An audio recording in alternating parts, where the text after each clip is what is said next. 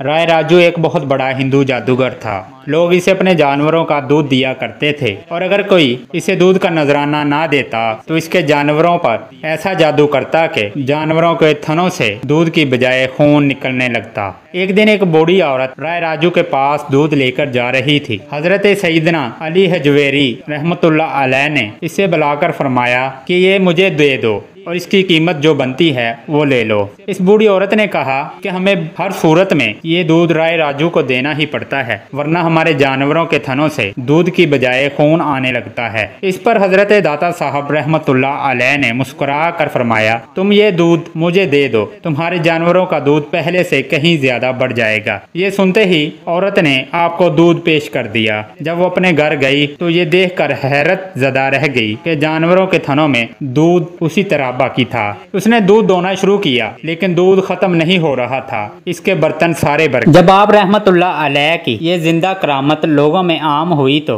गिरदो नवाज़ से लोग दूध का नजराना लेकर आप रहमतुल्लाह अलैह की खिदमत में हाजिर होने लगे। एक तरफ़ तो लोगों की अकीदत का ये हाल था, दूसरी तरफ़ राय राजू ये माजरा देखकर आग बगोला हो रहा था। आखिरकार आप रहमतुल्लाह अलैह की बारगाह में हाजिर हुआ और इन्हें मुकाबले के लिए ललकारा और कहा कि, अगर आपके पास कोई कमाल है तो दिखाएँ। आप रहमतुल्लाह अलैह ने फरमाया, कोई जादूगर नहीं हूँ। मैं तो अल्लाह का एक आजिज बंदा हूँ। हाँ अगर तुम्हारे पास कोई कमाल है तो दिखाओ। ये सुनते ही वो अपने जादू के ज़ोर पर हवा में उड़ने लगा। आप रहमतुल्लाह अलैह ये देखकर मुस्कुराए और अपने जूते हवा में उछाल दिए। जूते राय राजू के साथ हवा में उड़ने लगे। आप रहमतुल्लाह अलैह की ये करामत देख कर राय राजू बहुत मुतासर हुआ और ना सिर्फ़ तोबा करके दायरा इस्लाम में दाखिल हो गया, बल्कि आप रहमतुल्लाह अलैह के हाथ पर बैत भी की और आपकी सोहबत बाबरकत से फैज याब हुआ। हज़रत दाता गंज बख्श रहमतुल्लाह अलैह ने इसका नाम अहमद रखा और शेख हिंदी का खताब अता फरमाया। शेख हिंदी की औलाद इस वक्त आज तक खानका की खिदमत और फ्राइज अंजाम दे रही है।